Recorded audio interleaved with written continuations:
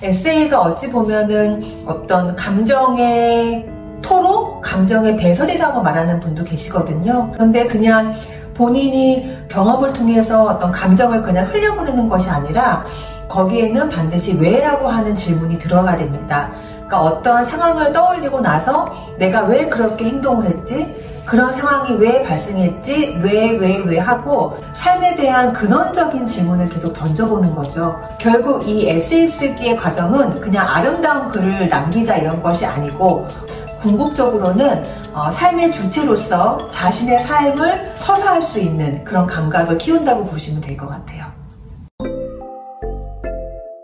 마음에 잊혀지지 않는 일들이 있잖아요. 예를 들면은 그게 어떤 직장에서의 상처가 될 수도 있겠고 어떤 사랑의 과정, 연애할 때 뭐 달콤함이라든지 아픔이 될 수도 있겠고 이런 과정들을 통해서 내가 얻은 깨달음을 글로 풀어낸다고 보시면 될 것 같아요. 처음에는 구체적인 사건에서 시작이 되고 그 다음에 내가 느낀 감정들을 한번 돌아보고 그 감정에다가 사유를 더해서 네, 어떤 깨달음을 얻는 것이 이 에세이의 전체적인 과정이라고 보시면 됩니다.